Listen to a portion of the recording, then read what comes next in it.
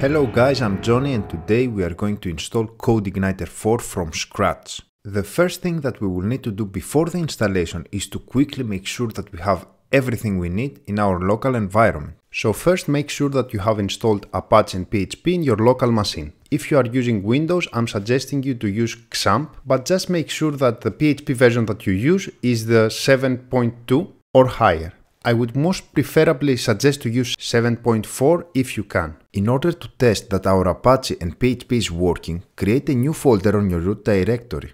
For example, in my local I'm creating a new folder on the path tutorials slash codeigniter4 as you can also see at your screen. Now inside the folder create a file with name index.php and open the file with your favorite editor. Now write a simple echo hello world in PHP and navigate to the URL of the folder from your browser. For example, my URL is localhost slash tutorials slash codeigniter4. If you can see the hello world in your screen, then that means that you've installed Apache and PHP correctly.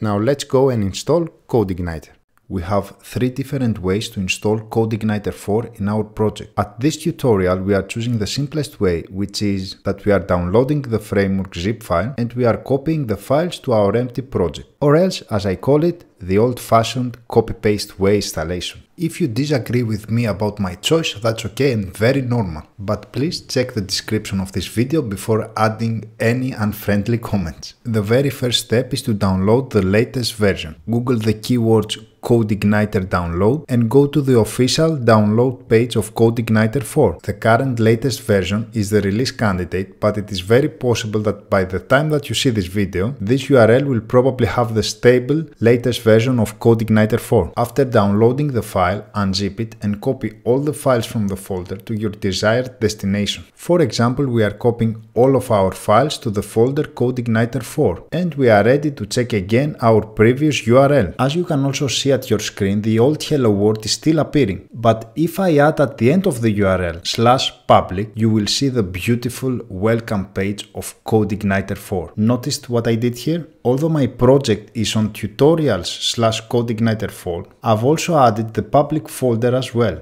For security reasons, CodeIgniter is suggesting not to do that, but as we are only in our local environment, it is okay for now. If you would like to remove the public path from the URL, create a virtual host and point it directly to the public folder of your project. If you don't know how to add virtual hosts, then now it is a good time to subscribe to my channel as this will be in an upcoming video.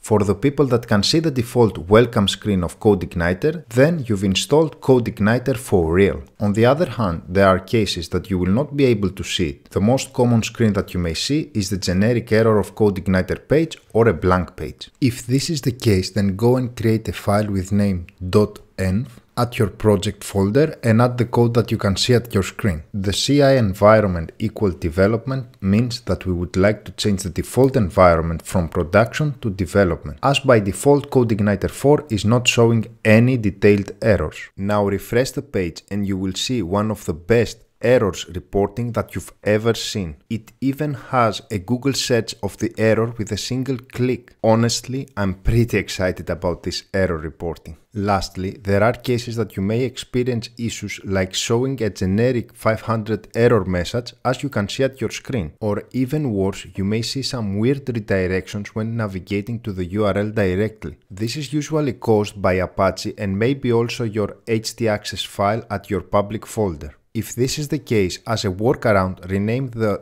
.htaccess file into something else and check again if the URL is now working. Of course, keep this as a workaround till you figure out the problem. For example, in my case, I had a PHP error and the .htaccess file wasn't letting me showing it. To solve my problem, I fixed the PHP issue and I've renamed the htaccess slash old back to .htaccess and everything is magically working. If you are still having issues installing CodeIgniter 4, then please write a comment below with the issue that you have and maybe I will create a separate video by collecting all the issues that the users had. Until then, thank you very much for supporting this channel, the community is just amazing and speak to you guys to the next video. Bye!